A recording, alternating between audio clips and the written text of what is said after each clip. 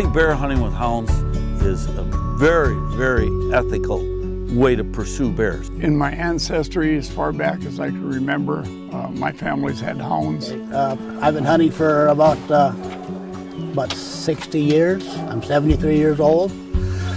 I started hunting uh, with my dad.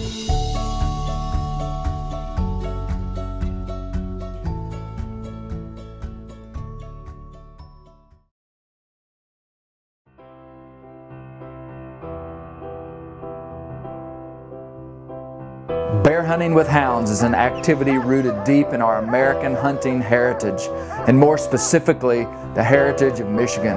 Hound hunting for bears became legal in 1939 and has been effectively passed down for generations since. It's a pastime that is more than just a sport, it's a way of life that deserves recognition and protection.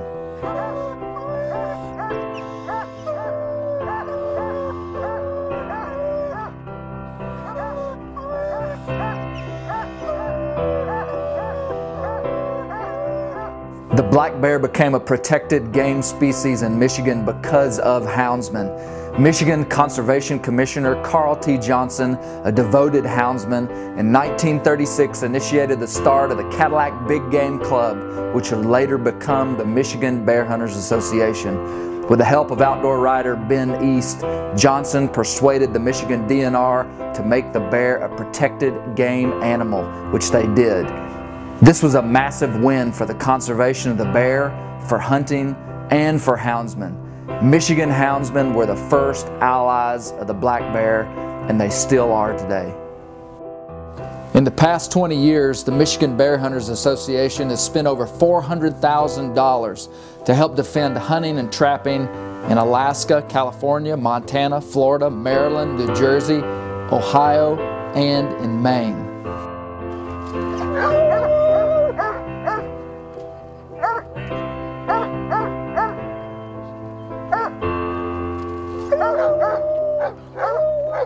The fruit of our conservation efforts are the foundation and ethical positions for our hunting.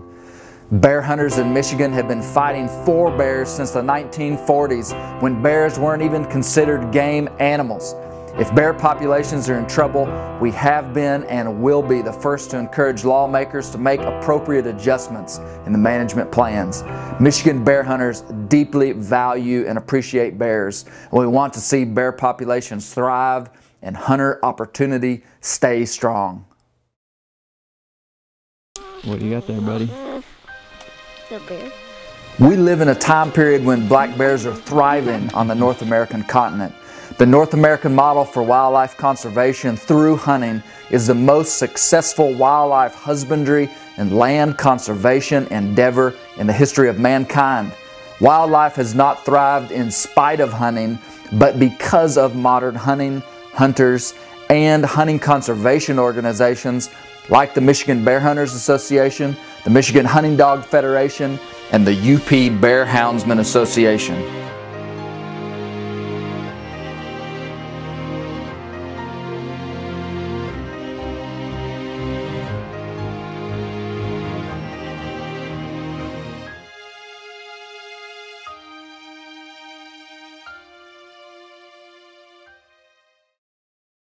The family and social aspects of running hounds is unsurpassed in the hunting world. Unlike many of the solo dynamics of today's popular hunting, hound hunting is rarely done alone but usually involves multiple layers of friends and family. In a society where real social contact is being stripped away and there seems to be less and less time for family activities, hound hunting goes against the trend and brings husbands and wives, fathers and sons, mothers and daughters into the outdoors together. Man, that was exciting, wasn't it? Y'all like that?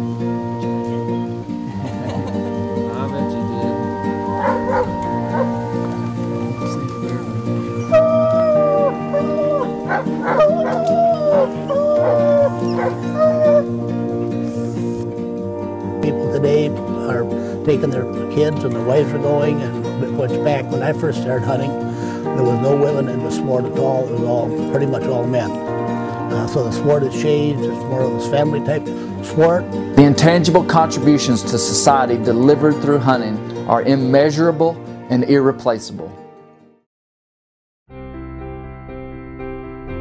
Houndsmen have a personal connection to their hounds that is indescribable.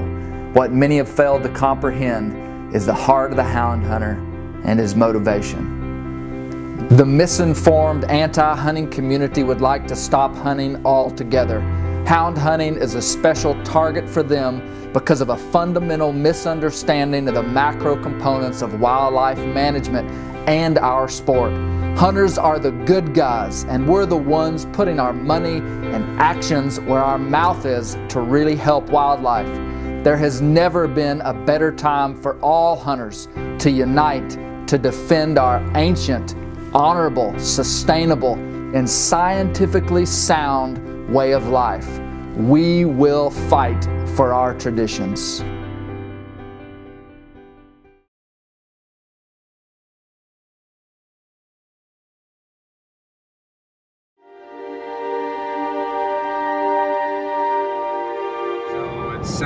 O'clock in the morning. Nice morning, it's 55 degrees. Uh, one of the guys we're hunting with got a, a dog struck on his box. Got a good strike, so we're going to go there and turn a few dogs loose, see if they can figure it out and get a bear jumped here. So I grew up in farm country, deer hunting, and I, I never, uh, never really was much of a deer hunter. I don't have enough sit in me for that. And uh, first time I ever went bear hunting when I was, I think, around 20 years old. I, uh, I said, boy, I gotta get into this. And I got some dogs, and shortly after that, I quit my job and moved up north.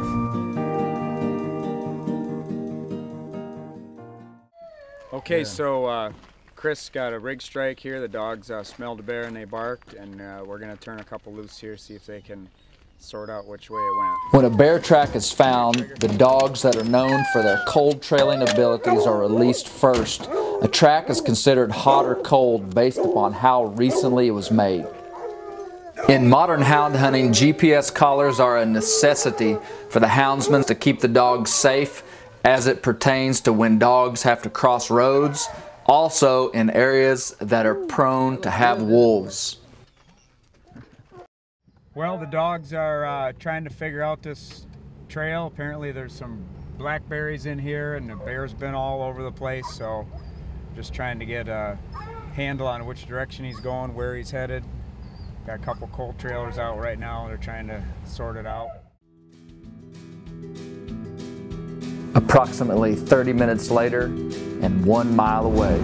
Okay, we got the bear jumped. It sounds like we're gonna go put some more dogs in.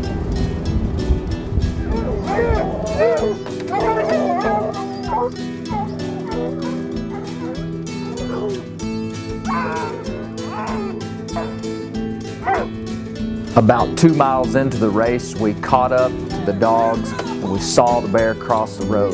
The dogs were exactly 25 seconds behind the bear. 20 minutes after we saw the bear cross the road, we saw him cross again and the dogs were a lot closer.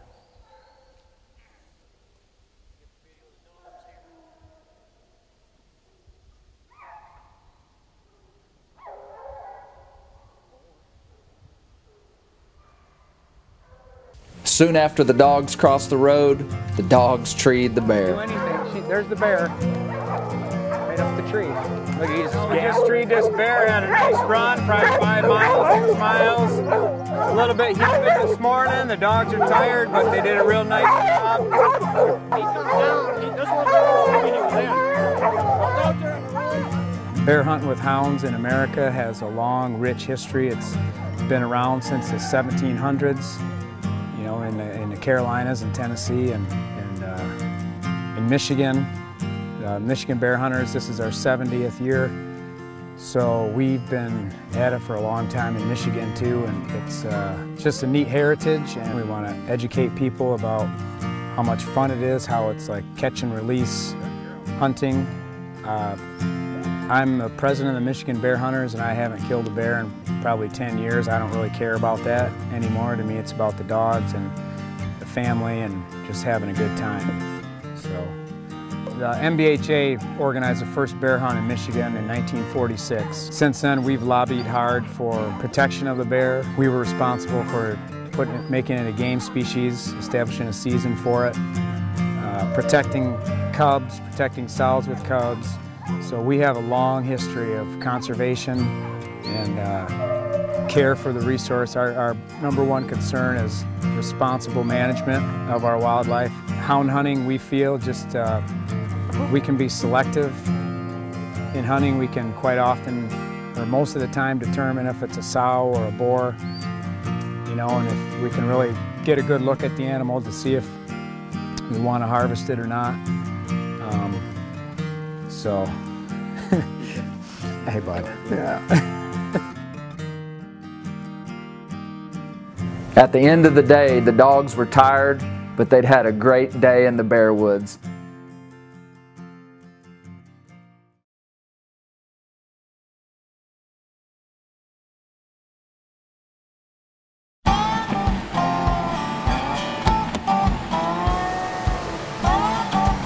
Many bear hunters start looking for fresh tracks crossing the road early in the morning before daylight. We found a track and released the first hounds at 8.30 a.m.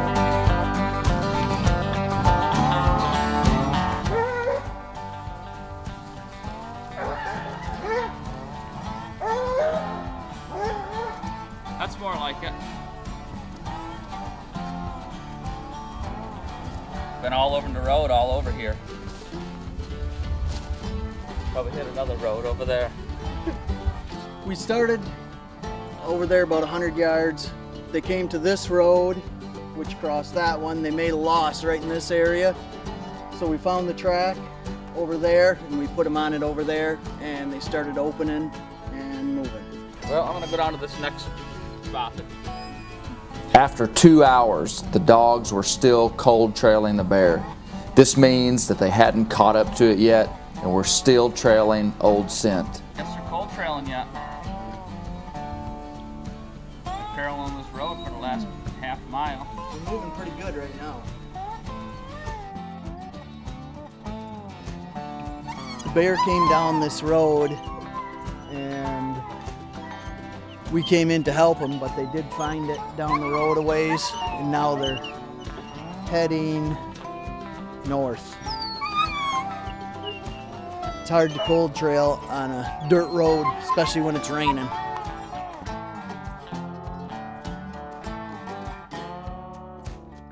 After an eight mile cold trailing job, the dogs jumped the bear and we found his tracks Got 'em crossing the road. Got a few more dogs in there with him. Hopefully we'll get a good day's run out of you.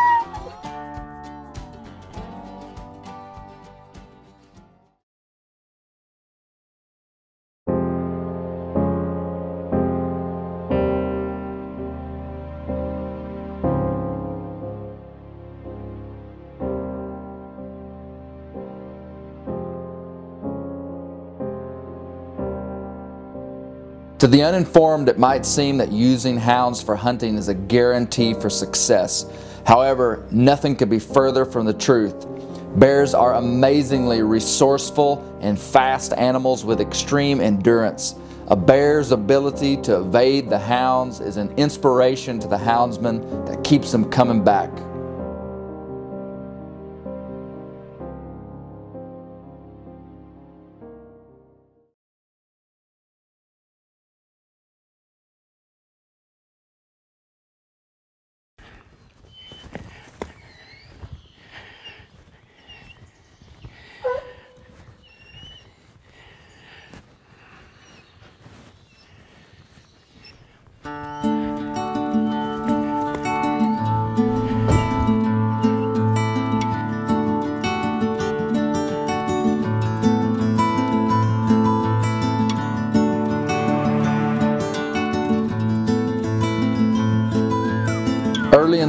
While looking for a bear track, we came across a herd of Michigan elk.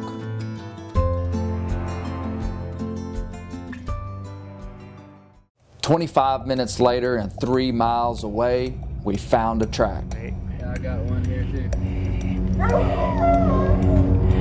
Yep, that's where you come across. All right.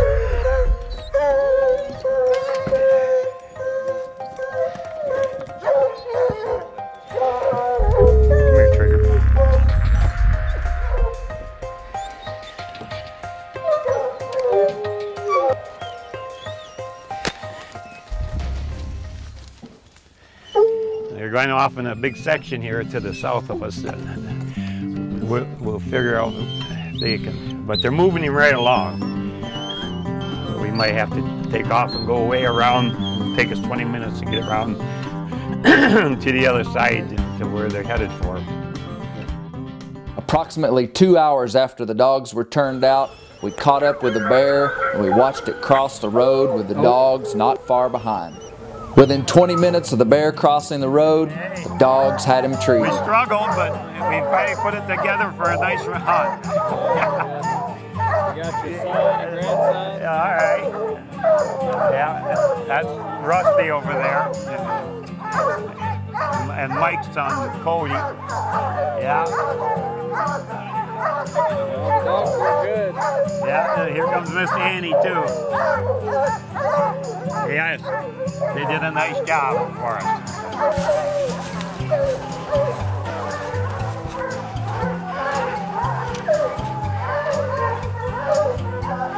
It might seem counterintuitive, but the smaller bears are more prone to run longer distances and are often harder to tree than the larger bears.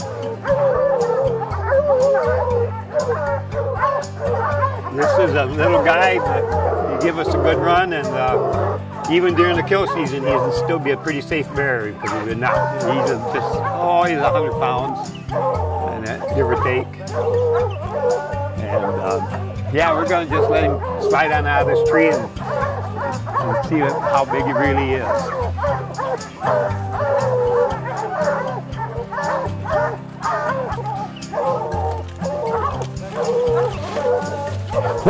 Up.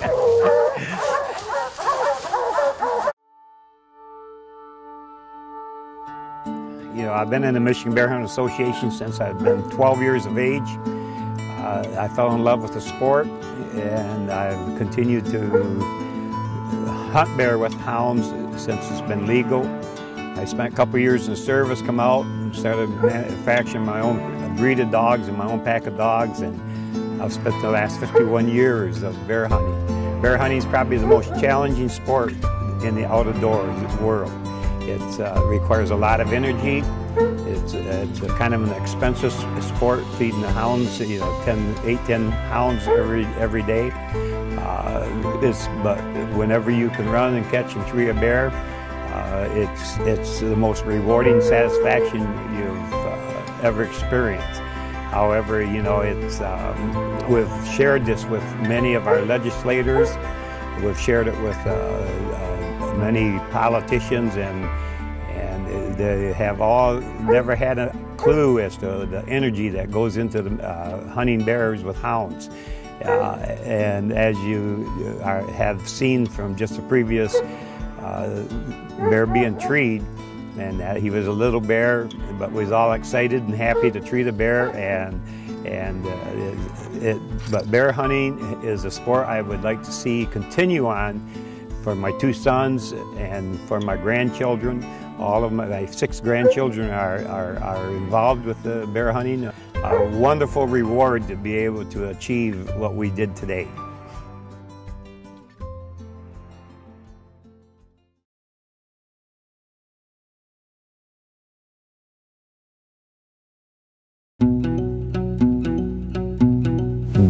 Hunting in Michigan takes you into some spectacular and wild places that many will never see. Bears are iconic of American wilderness, and our public lands are truly the treasure of the masses.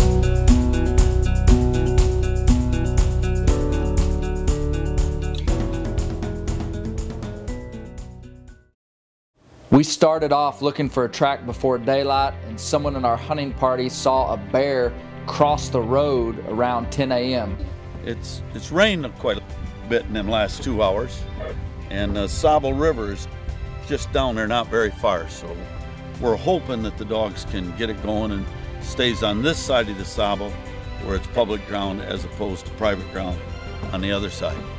So this is all iffy, but that's what we're gonna do anyway.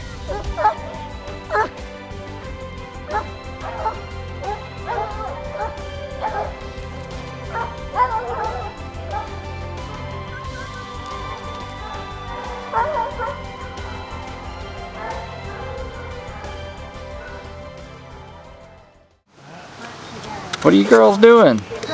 Making a sandcastle. While your daddy's bear hunting? The last two have been broken. The last two got broken? By Caden. Oh no. By Caden?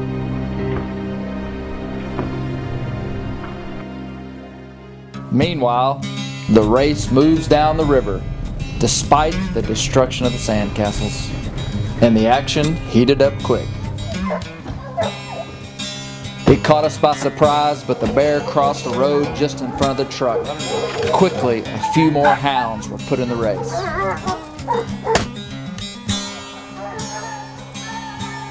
I they were on a bear. Yeah, they were. Uh, It was a long, tell me what just happened. well, we've been following these dogs way back past the power lines. We cut them on a cold trail. I guess it wasn't a coyote after all. And we've been following them all along the river and it never went across. It came this way, which is perfect for everybody.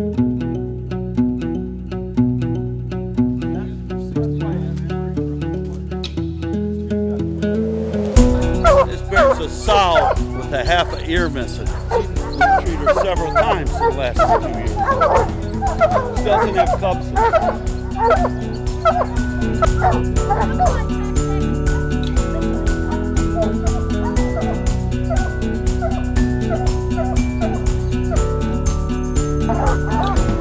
After a few minutes, the dogs were tied back and the bear came out of the tree.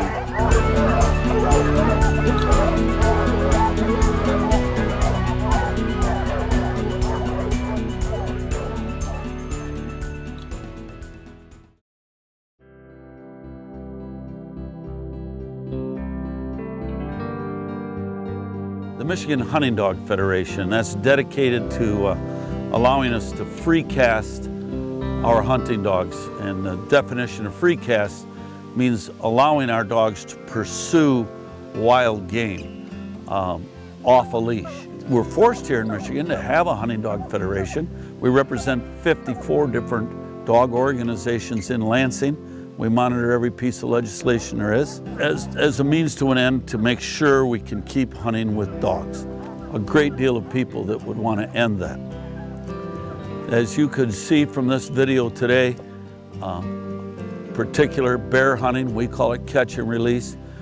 And uh, most people think that hound hunting is a, a vicious blood sport, uh, cruel, cruel to the bear, cruel to the dogs. Nothing could be farther from the truth. I think bear hunting with hounds is a very, very ethical uh, way to pursue bears. And the reason for that is once the bear's up a tree, once the dogs have put the bear up a tree, you can truly judge whether you want to harvest that bear or not. In the hunting community, we hear an awful lot about uh, recruitment retention. Uh, how are we going to get new people into hunting?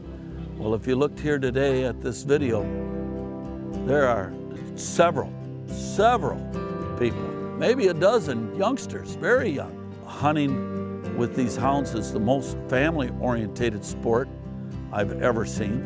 It's important to us, it's a way of life. It truly is a way of life. When you uh, have dogs like these dogs here, I've had this family of dogs for 45 years. They're not like my children or my grandchildren, but they're somewhere in line after that. And that's how we feel about them. That's the bond we have. That's what we share with our children the love for this wilderness, to live in America where we have this wild land that we can uh, access and use.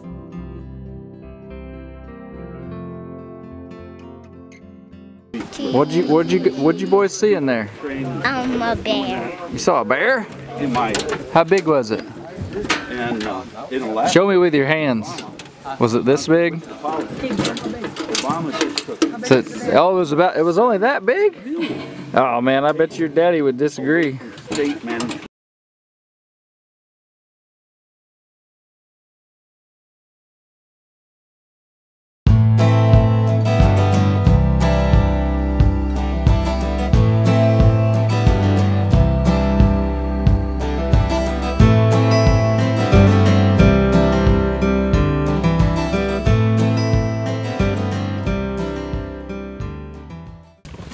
We arrived just after daylight and got six hounds This collared and ready to hunt. This is uh, Sissy. I call her the big Sissy. We then headed down the road trying to rig a bear. Rigging a bear is when a hound barks while he's in the truck after smelling the scent of a bear. Some might call it striking from the box. And it wasn't long until we did just that. We just uh, struck the track. We're going to check it out, see what size it is. We're checking baits up here and going down the road and uh, struck a bear track. We got, got a nice track going. We're about ready to turn loose on the. Ready? Happiness is a quiet box and a loud track. The bear was jumped quickly, but he was a runner, and run he did. Some bears, especially smaller bears, seem to want to run and they don't want to climb a tree. This is the thorn in the flesh to the bear hunter, but it's also what keeps him coming back time after time. He's right here. Right here. It's right between us. Right there. Look. Here he is. Here he is. Here. Here. Here. Come on, Ez. Here. We finally caught up to the bear and saw him cross the road, exactly 39 seconds ahead of the dogs. In the hound hunting world, that's not a small gap to make up. We've messed the dogs up two or three times. Got to see the bear, each of us, but we haven't caught him yet. So, oh, went for uh, 10.78 miles, and the bear won. But the tree is a great thing, but it's not everything when you're training young dogs. So, uh, truly is the sport of it.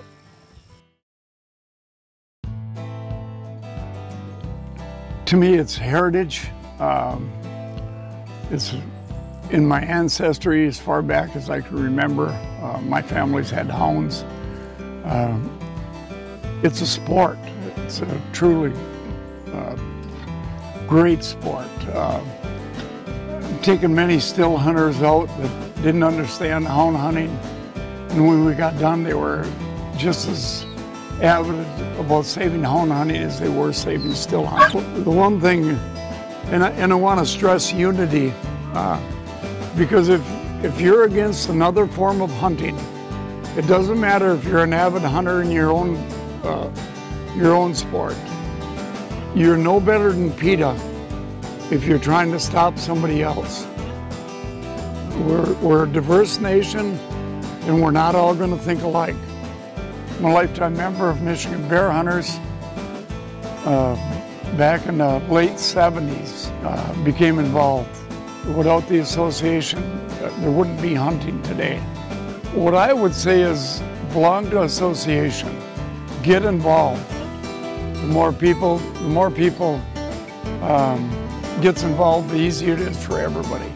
You know, we've been fighting the fight for a long time, running to Lansing three, four, five times a year, um, doing the fight, and lots of times I think to myself, you know, you can hunt out your life and not have to worry about hound hunting. But then I get to thinking how selfish that would be because my kids, my grandkids, my great grandkids, what kind of life would they have if they wanted to hunt hounds? And that's what keeps me going. Well, you're doing good, sis.